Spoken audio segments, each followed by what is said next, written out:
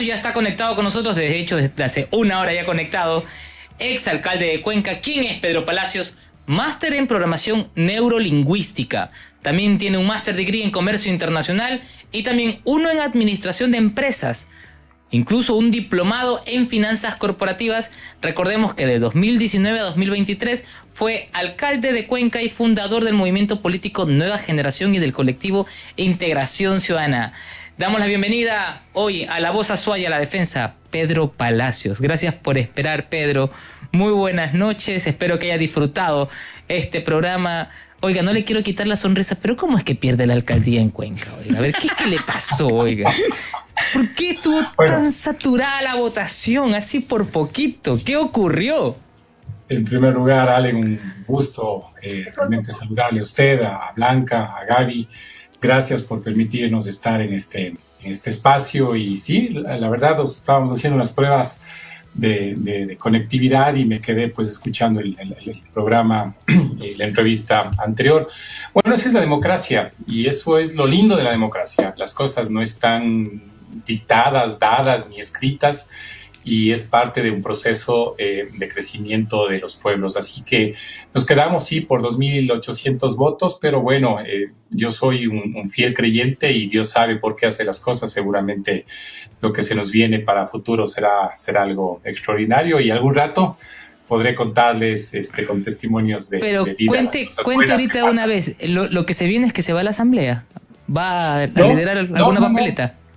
Para nada, eh, este momento no es una posición en la cual yo me sienta cómoda. Yo estoy eh, seguro que habrá otras personas que lo van a hacer y lo van a hacer muy bien. Nueva Generación es un movimiento provincial aquí en Azuay y presentará sus, sus candidatos, así que esperamos ser una alternativa una vez más y que la ciudadanía pues tenga la posibilidad cierta de escoger entre los candidatos, a, ojalá a quienes formen parte de la lista de nueva generación y hacer lo que hemos buscado y lo que hemos hecho en estos años, ¿no? una filosofía de humanismo pragmático, lo que le haga bien al ciudadano, al ser humano, no importa si viene de un concepto de izquierda, de derecha, liberal, neoliberal, conservador, lo que fuese, no importa, lo que le haga bien al ser humano. Pedro Palacio va a esperar el 2020, va a esperar el 2025 Pedro Palacio o las próximas seccionales.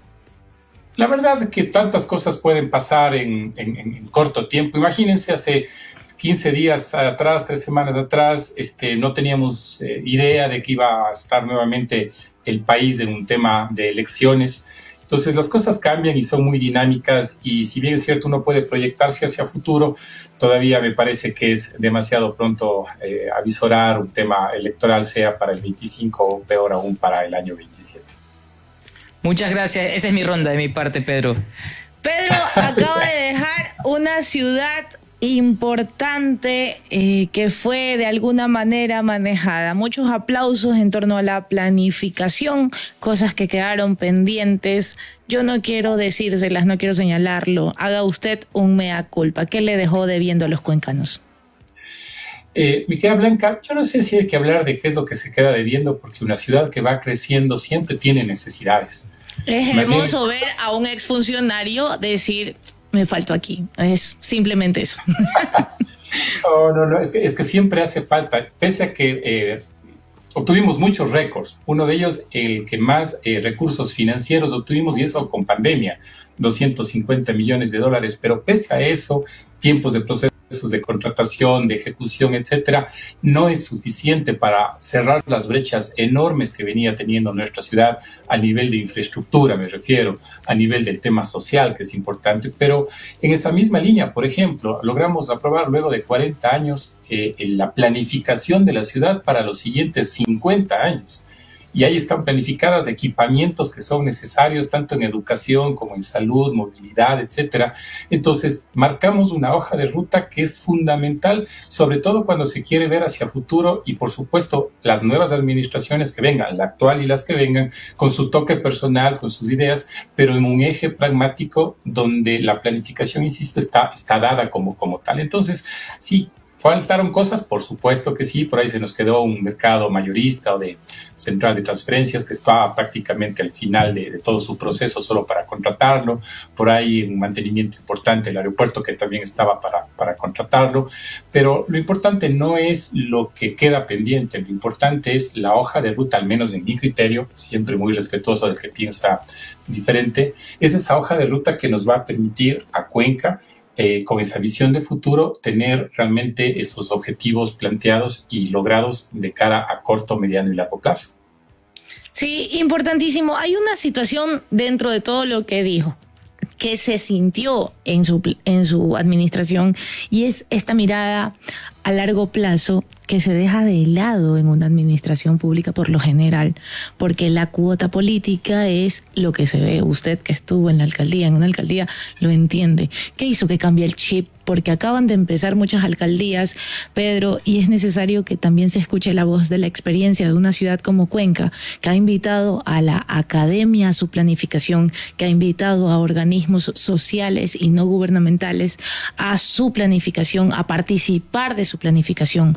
Este, esta mirada a largo plazo, aunque no necesariamente deja un rédito político de el alcalde hizo, el alcalde estuvo, la, ciudad no está contando con que la ciudad ya está planificada a 50 años. Eh, ¿Qué lo hizo cambiar el chip ya sentado en la alcaldía? Y si me permite un paréntesis, por ahí siempre se decía falta de obras. Le cuento, 729 obras, algo histórico para una administración de cuatro años y sobre todo con el tema de pandemia. Entonces, hemos desmitificado muchas cosas. ¿Qué es lo importante de un cambio de chip? Número uno, eh, no entrar en un proceso de administración con compromisos.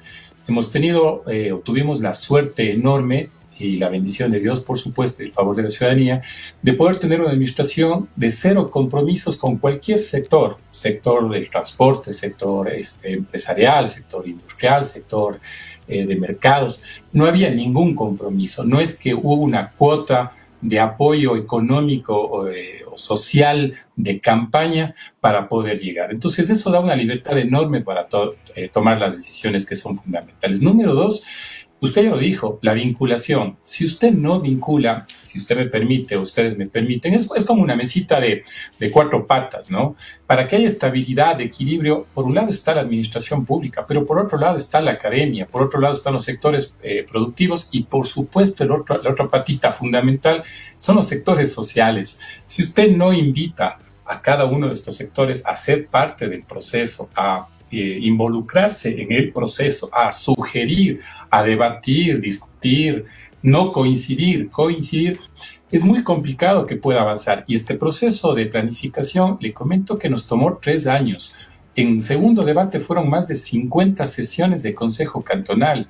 Fueron 48 eh, personas que ocuparon la silla vacía, tres veces más el número de personas que formamos el Consejo Cantonal, alcalde y concejales más de 5.000 personas participando activamente en diferentes sesiones, fueron cerca de 250 reuniones. Entonces, ahí es cuando, al menos en mi criterio, se puede recoger de una forma mucho más amplia la participación y las ideas de la gente. No todo vamos a coincidir porque hay temas muy opuestos, pero podemos llegar a términos medios y es lo que creo que hemos logrado en Cuenca y es por eso que hoy por hoy no solamente esa planificación a futuro, sino lo que hemos alcanzado en estos cuatro años más de 65 reconocimientos, premios, condecoraciones, etcétera. Y toda una serie eh, de actividades nos han permitido, nos están permitiendo, uno, seguir siendo el cantón que más ha reactivado la economía del país. Número dos, el principal destino turístico del país, pese a no tener la conectividad terrestre adecuada y los temas, por supuesto, de inseguridad que son eh, a nivel nacional. No Cuenca no es excepto de, o no tiene la excepción de ello. Sin embargo, acá sí tenemos un plan de seguridad que no existía, único en el país, y lo, implementamos y lo aplicamos. Entonces, eso es parte, insisto, de una planificación que logramos generar dentro de nuestro cantón. Y este año, eh, Pedro, ahora que ya salió de la alcaldía, ¿cuál es su agenda política? Eh, ¿Sí se va para la asamblea en estas presidenciables, en estas elecciones que vienen, o qué es lo que va a hacer? ¿Qué tiene pensado? le comentaba a Allen hace un momento que no, eh, por el momento no, no me veo yo un, un espacio de asamblea, creo que no es... A ver, una de las cosas fundamentales para cualquier eh, actividad que uno vaya a hacer tiene que haber un profundo convencimiento de hacerlo, ¿no? Y en este caso eh, no existe en mí un profundo convencimiento de poder... Ya, Pedro, ya, ya, ¿qué se va a dedicar entonces? ¿Se va a quedar en la casa? Cuéntenos. bueno, no estaría por demás. Le cuento que durante cuatro años, apenas ocho días de vacaciones, ya la familia reclamaba. Pero no. Imagínese, usted debe decirle aquí a mi querida ex alcaldesa de Guayaquil, oiga, yo trabajé todo mi, toda mi administración. Importantísimo. Ocho días de vacaciones nomás. Imagínense, la otra hasta Hawái se Vamos a ver. Y ahora que va a descansar. no hay ningún mérito porque sí, sí pasa factura el tema familiar. Así que tampoco recomiendo ni tal vez lo uno, pasar de vacaciones, ni lo otro, no, no, no sacarlas. ¿no? Yo creo que es, hay que buscar también ese equilibrio en, en la familia. Termina el 13 de mayo y el día 15, desde el día 15 ya estoy laborando.